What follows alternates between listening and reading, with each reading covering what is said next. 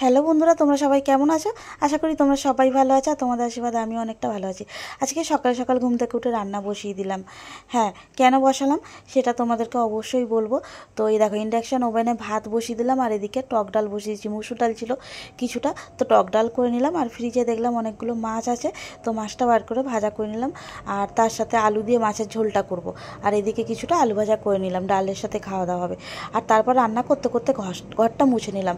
কারণ আমার অনেকটা দেরি হয়ে গেছে, তো যাই হোক তাড়াতাড়ি করে ঘরটা মুছে নিয়ে বাসন টাসন ধুয়ে বাথরুমে গেলাম, জামা কাপড়গুলো কাচতে, জামা কাপড়গুলো কেচে ছাদে এলাম, দেখলাম একটু মেঘলা মেঘলা ওয়েদার প্রচণ্ড গরম কিন্তু সামান্য পরিমাণে মেঘলা ওয়েদার যাই হোক রেডি হয়ে চলে এলাম, এই দেখো সাথে ননদের মেয়ে আছে, তো লিফটে করে ওপরে উঠলাম। হ্যাঁ কোথায় এসেছি বলো তো? এটা এলাম আমরা এইমস হসপিটালে পুরো পাক্কা এক বছর পর এলাম, আমাকে কোনো ফোনই করছিল না, তো সেই জন্যেই চলে এলাম। আগের যে বইটা ছিল, সেই বইটা নিয়ে এইমস হসপিটালে চলে এলাম।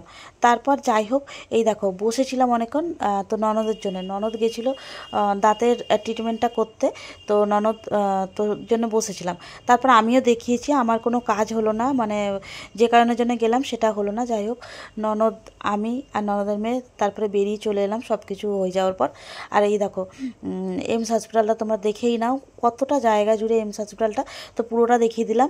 আর কল্যাণী থেকে তোমাদেরকে বলে দিই, কল্যাণী থেকে অটো করে একটা অটোতেই কিন্তু এইমস হসপিটাল বলবে, তোমরা কিন্তু চলে আসবে।